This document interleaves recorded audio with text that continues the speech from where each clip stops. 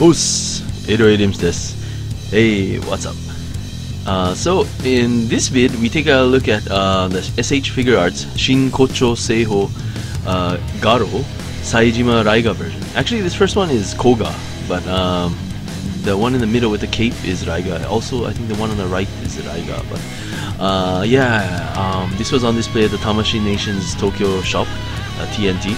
And um, yeah, this year uh, in October, I think they they have a new Garo movie coming out uh, with Saejima Raiga, and um, yeah, so I guess at the same time, this uh, Saejima Raiga Shinkocho Seiho will come out at the same time. But um, yeah, pretty cool. Yeah, I'm a big fan of Garo. Uh, yeah, it was my dream. Well, it still is my uh, like a minor, almost impossible dream. But like, oh, if I could be in Garo, I would be so happy. Just to be one, even a minor character in Garo. I, I would be happy. Well, I, of course, I would love to be a Makai Knight or something, but you know. Well, Garo is so cool. Yeah, I, I like Garo. And um, anyway, you guys like Garo, let me know. Uh, please feel free to rate, comment, and subscribe. And thanks for watching. I appreciate it.